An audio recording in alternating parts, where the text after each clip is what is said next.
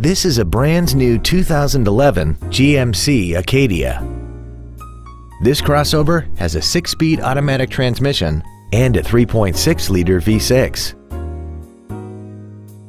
Its top features and packages include the Preferred Equipment Package, air conditioning, cruise control, a suspension package, a rear spoiler, privacy glass, traction control and stability control systems, side impact airbags, a keyless entry system, and alloy wheels. Contact us today to arrange your test drive.